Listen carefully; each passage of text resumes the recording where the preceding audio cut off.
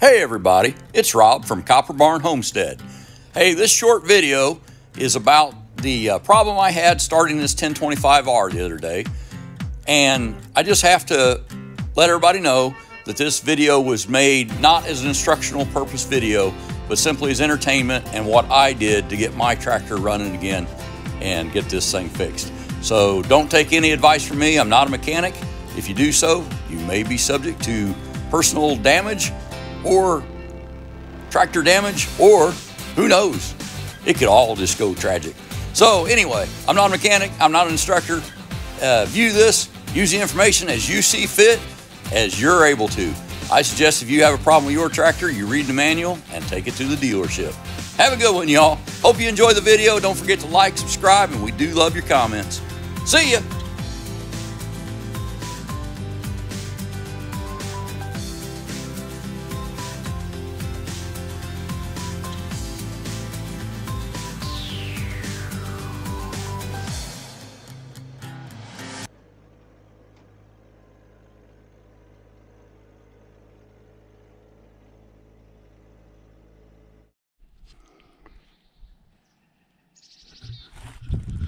Hey everybody. So today I'm going to do a little video with my 1025R. It should be short.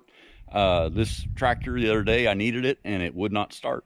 So I actually went through the troubleshooting uh, that day and found what the problem was, found a way around it. Uh, and now today, about a week later, I've got the part, so I'm going to fix it. And I'll kind of go through the steps that I took to figure out what was going on with it. Enjoy. Don't forget to like, subscribe, comment, and share. We do love your comments. Have a good one. Okay, so about a week ago, it was super cold and I needed this tractor and it would not start. And so the first thing I did was put it on the battery charger to make sure the battery wasn't too low to start. And I'll show you what it did. When I went to start it, I turned the key and it would not start. Now, it has a couple safety features one of which is if it were in gear, which it is now, but you see when it's in gear, the dash tells you to switch to neutral or shift to neutral. So I knew it wasn't that. Put in neutral. And so the next thing I thought was maybe the solenoid or something was wrong with the starter because I'd already made sure the battery was fully charged. So on these particular tractors, they have a hood release, kind of automotive style. one-handed there. And the battery is right there. So I put my battery jump box on it and didn't get anything else. So then I thought uh, there are relays and some fuses. So I went ahead and checked those and I'll show you where they're at.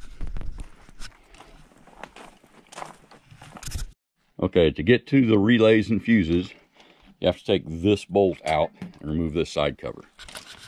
So I'll do that. Okay, once the bolt is removed, basically just pull back on this cover. So slide it back and it lifts off.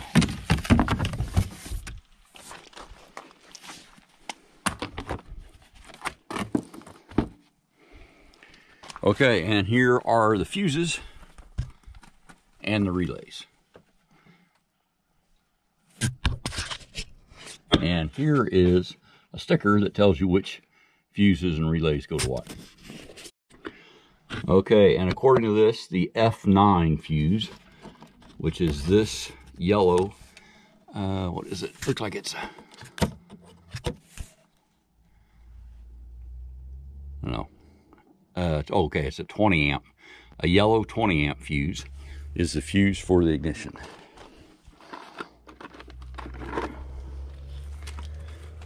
so I pulled it out with a needle, needle nose pliers. And that fuse, you can see it if it'll focus. Anyway, that fuse is good. It's not broke. So put that back in. And that's what I did when it was like, I think it was 12 degrees 14 degrees, something like that that day. It was cold. So the other item is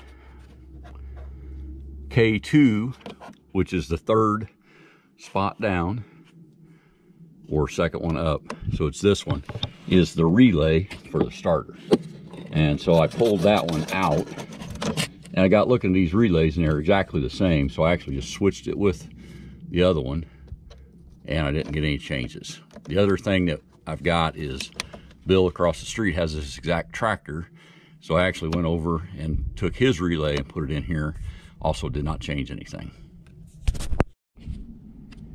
Okay, so at this point, I decided to try to jump past the solenoid like we used to do with our own farm trucks. And so the starter is under this cover. So again, taking out that screw, sliding back, there's the starter. Turn that off so we hear the fuel pump clicking.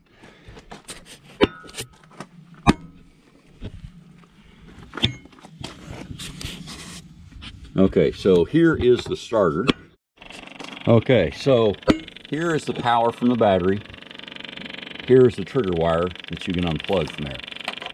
Now then, when you get the thing so it operates correctly, when you get the key to turn and engage, it'll light up that switch. And that's what it was not doing the other day. Okay, so what I did was put a trigger wire on the input for that wire from the ignition. And then I attached that to a screwdriver. I used the cheapest, oldest one I could find. And we used to do this with our old trucks when the solenoids would go out. Now it says right here, do not do that. I mean, it shows you exactly how to do it, but it says don't. And that's a good point. If this is in gear, and I'm sure people have done this, you can get severely injured. But if we get 12 volt from the battery to that trigger wire, that will open the switch and allow this starter to start this tractor, or should. But there is another safety feature somewhere in the system that doesn't allow you to do that. Okay, so now, and I only did that to show you guys what I did that day. Uh, again, I was getting no power from this trigger wire that comes from the ignition. So I'll plug that back in. Uh, on some of the forums that I read,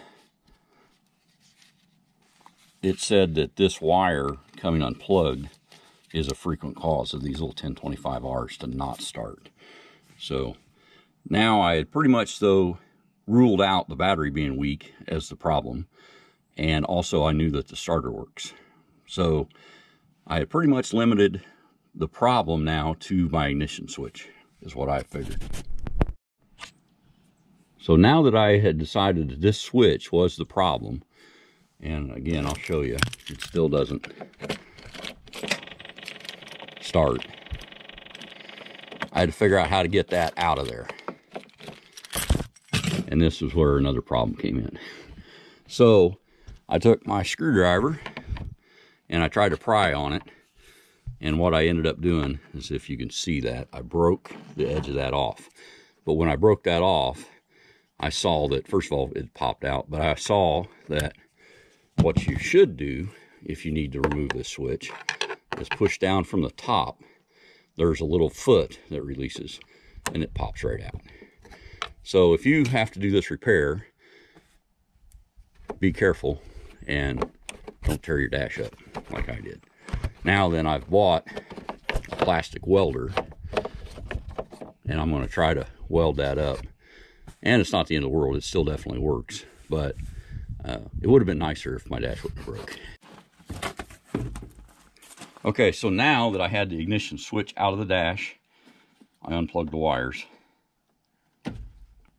And looks like there's six. No there's not there's five outlets there. Okay so I took my 12 volt tester again and I checked the three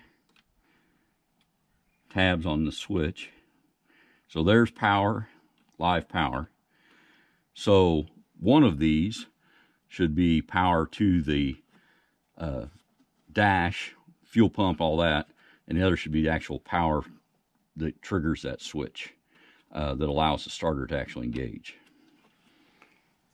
So let's see what else we've got here. Okay, so now with the key in it and on with ignition on, right? So this tab and that tab and this one, the three here, are the only ones that have wires that go to them back there on that plug. So I took my continuity tester and tested between these tabs to find out which two are connected with the ignition on. Okay, so with our plug, trying to look at the camera while I'm doing this, there are only three wires here. There's one in the top left, one in the middle right, and one on the bottom. And when we check these for power, the bottom has no power to it. The top left has no power to it. Ah, I wish you can see that. There you go. But the one on the right has 12 volt to it all the time. Oh, there's test, test, test. Nothing. But the one on the right has power. Okay, so now I've got the key on on this switch. So the ignition would be on. And I'm going to check to see what we've got between those three terminals. Okay, so there's continuity between the one that has 12 volt live all the time and the top left. That means that for the ignition to be on, right, power's coming in here and flowing out this terminal, which means this terminal has to be the one that engages the starter. What I'm trying to do is tie all these terminals together at once. Yeah. Well, I can hold the camera. Yeah. What I could do is just put the new switch in it and it'd be fixed. but it might not be. Might not be it. Well, I mean, that would be it. That'd be great for me. It Yeah. wouldn't make much of a video. Okay.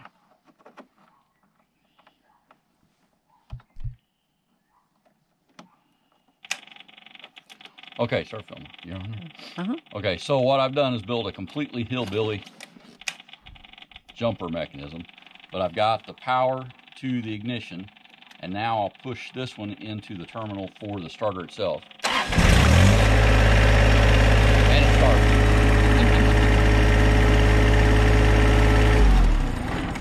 okay, and that was how I got it started uh, the other day. But now what I'm going to do is put my new switch that I ordered off eBay. Actually, I think this was Amazon, but exact same switch have this fixed. Simply plugs in, shoves in. And of course, I got my busted dash that I showed you guys.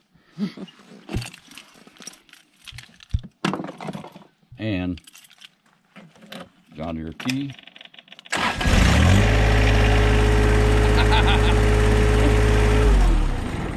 Okay, so that was what I went through on my 1025R when it wouldn't start the other day. And actually this switch uh, looks fairly beat up. I don't know if somebody ever tried to use a screwdriver on that instead of the key. But anyway, what it would do was this, the switch got to the point that you could turn it and it wouldn't uh, start. I figured out that if you played with it quite a bit, jiggling the key and stuff, it could, it would eventually start. I could figure out how to get it to start, but it wasn't a combination that I wanted to deal with every day while I use this tractor. So it's got a new switch in it and put it all back together and back in business. This is my sawdust removal tractor for the most part, along with my lawnmower and everything else that I use with it. So thanks a lot for watching. Don't forget to like, subscribe, comment, and share. We do love your comments. Have a good one, y'all. See ya. Thank you. Hi, guys.